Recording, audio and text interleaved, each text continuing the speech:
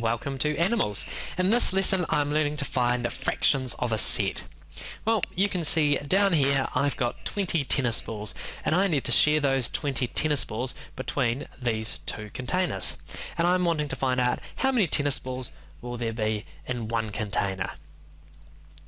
So to do that I'm obviously going to have to split these 20 tennis balls in half and I can record that like this. I'm trying to find half of these 20 tennis balls. So now I need to think, how could I share out these uh, 20 tennis balls? Well, I could share out these first 10 because I'm good at finding half of 10. I know that half of 10 is 5, so I can put 5 tennis balls from this row into this container and 5 into there. I'm going to do that now.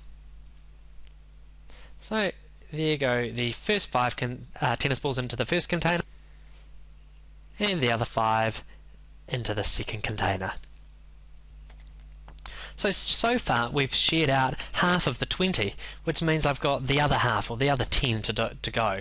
So, so far there's 5 tennis balls in each container, so I think by the end of this there must be 10. But we can check by actually sharing these out.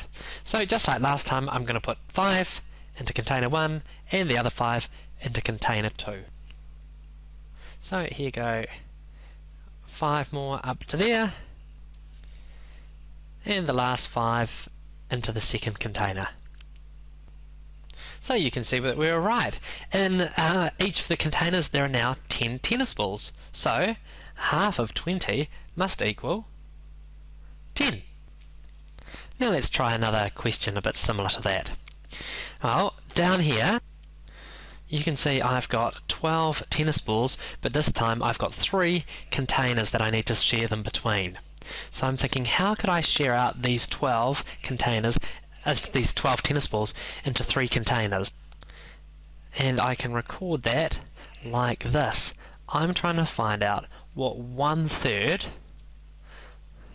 of these 12 tennis balls would be, or how many tennis balls there's going to be in one of those three containers.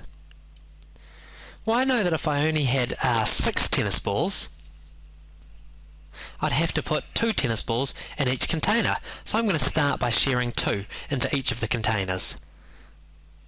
There we go. Two into container one, two into container two, and two into container three. So, so far we've shared out half of the 12 tennis balls and we've got two in each container. So I think after we've shared out the other half, we should have another two in each container, which means we'll have a total of four in each container. But let's share out the rest, just the same way as we did the first half, and we'll find out if we're right. So here go, two more for container one, two more for container two, and two more for container three. And you can see that we were right. There's four tennis balls in each container, so one third of 12 must equal 4. Let's try one last question. Uh, this time, I've got 50 tennis balls which I need to share evenly between five containers. Now I could go through and put one in each container, then go through and put a second one in each container, but like we've been doing with the other ones, let's see if we can find a quicker way of working this question out. So I want to work out how many tennis balls will there be in one container?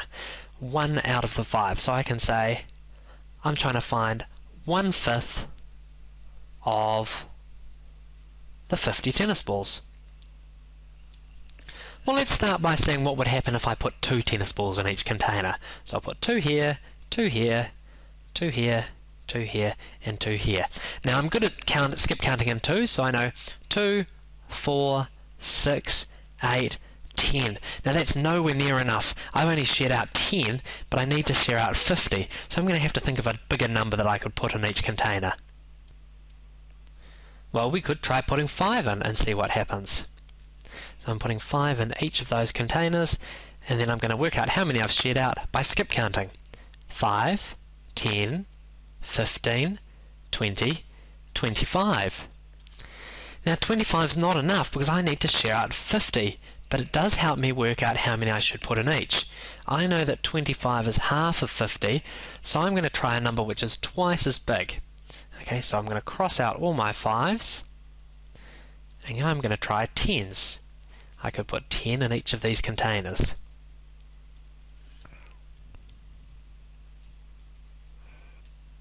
So now I'm going to skip count again.